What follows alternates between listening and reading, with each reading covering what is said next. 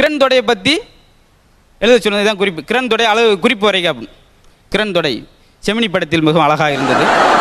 அதற்கடுத்து வந்த படத்தில் கொஞ்சம் சுமாராத்தாக இருந்தது. வரும் படங்களில் பார்ப்போம் அப்படின்னு சொல்லி அவர் கேட்ட கிரண் தொடை இலக்கணம். இவன் நம்ம செமினி படாம கிரண் கடைக்காரே குரங்கு பொம்மை இருக்கா அப்படின்னு. இல்லைடா அப்படா அப்படின்ட்டார்.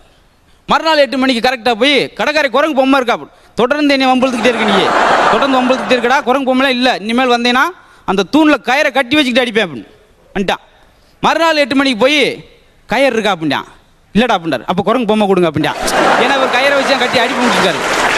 இது ஆள் ஆப்பிள் வாங்கிட்டு வந்தார். கொடுத்துட்டு மஞ்சக்கால் வந்தால் சாப்பிடவே முடியாதடா முத்து.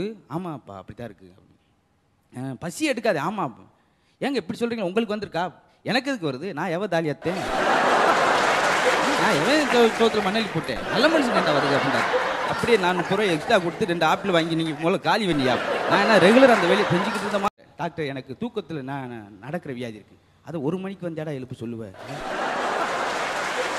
சரி உங்கள் அண்ணனுக்கு நான் சொன்னேனே தூக்கத்தில் நடக்குது ஏதாவது மருந்து கொடுத்தேனே இப்போ எதுவும் இம்ப்ரூவ்மெண்ட் இருக்கா? இருக்குங்க.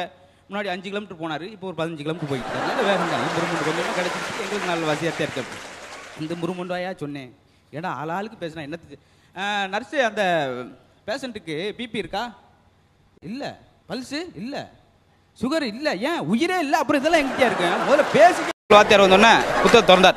பதிமூணாங்கம் பக்கத்தை பெரட்டி பாடம் நடத்த போனார். சென்னல் வழியா நாய் ஒவ்வொன்று குலைச்ச ஆரம்பிச்சிச்சு புரியாது இவனுக்கு நடத்தும் புரியாது அவருக்கும் புரியாது. புத்தகத்தை திருப்பி வச்சுட்டு உட்காந்துட்டார் அஞ்சு நிமிஷம் நாயெல்லாம் ஓடிடுச்சு. ஒரு எந்திரிச்சு சார் அது நிறுத்திச்சு நீங்கள் ஒன்று ஆரம்பிங்க அப்படின்ட்டுருக்கான் அப்புறம் இவர் என்ன கொலைக்கு சொல்கிறாங்க அவருக்கு ஒரு குழப்பம். ஏன் ஏன் இப்படி இருக்கீங்கடா? நீங்களாம் உருப்படவே மாட்டீங்க. உங்கள் கூட படித்தா அப்புறம் எப்படி உருப்படுவாங்க நாங்கள் போனீங்கன்னா ஆறா என் கூட வருது வருவானா? அதில் ஒருத்தன் கை தூக்கினா. என் மேலே அவ்வளோ பாசமாடா தம்பி. இல்லை சார். அங்கே எப்படி உங்களை வடச்சீட்டில் போட்டு வறுக்கிறாங்க நான் பார்க்கணும் சார் அப்படின்ட்டான் இவர் என்ன ரணவலை படிச்சிருப்பார் அவனை ചേട്ടാ അവിടെ പോവാതെ പേർക്ക് എങ്ങനെ ഇതുമേ കാണുമേ കാണില്ല ഇപ്പൊ കാണിക്കാൻ പാറ് இப்ப இல்ல. இப்ப ഇരിക്കും പാ பிறவி பைத்தியம். அதான் லைட் போட்டா பேய் இல்லல்ல. அப்புறம் அது கூட ஐஸ் பாயில் விளையாடிட்டு இருக்க. போடா. எதை வேணாலும் மறைய வச்சிருவேன். எதை வேணாலும் மறைய வச்சிருவேன். என் மனைவியை மறை வைக்க முடியுமா உங்களால்? அவர் சொன்னார் என் மனைவியை மறை வைக்க முடியாத? ஏன் நான் மறைஞ்சு வாழ்ந்துக்கிட்டு இருக்கேன் அப்படின்னு அவர் சொல்லியிருக்காரு. வாட்ச்மேனை கூட்டு வந்துட்டு சம்ம லோனை கொடுங்க. நீ வாட்ச்மேனை கூட்டு வந்து நாளைக்கே லோன் தரணும். நீங்கள் தானே? லோன் வேணும்னா செக்யூரிட்டி வர வரணுங்க செக்யூரிட்டி பத்திரங்களை கொண்டு வாடான்னு சொல்லி வாட்ச்மேன் செக்யூரிட்டி கூட்டு வந்திருக்காவே கொடுத்தா கொடுங்கன்னா அவர் மாவன் என்னத்தை செய்ய முடியும்? நான் எத்தனை ஆளை பார்த்துருக்கேன்னா இப்படி ஆள் எங்கே பார்த்துருக்கேன்? ஒரு ஆள் விதையை கொடுத்தார். விதையை கூட்டு நல்லா பயிராக்கி செடியாக வச்சிரு. போயிட்டு வரணும் மூணு மாங்கழிச்சு வந்தார்.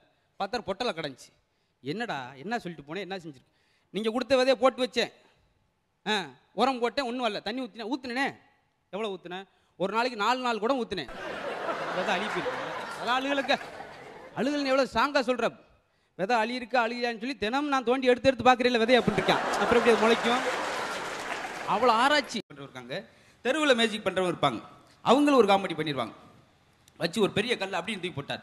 அப்படியே ஆயிரம் ரூபாத்தால மாற்றினார் இன்னொரு சின்ன கல் இப்படின்னு தூக்கி போட்டார் அது ஐநூறுரூவா தாளை மாற்றினார் இப்படியே மாற்றிக்கிட்டே இருக்கார் ஒவ்வொரு பொருளாக எல்லாம் மேஜிக்லாம் முடிஞ்சு அரை மணி நேரம்.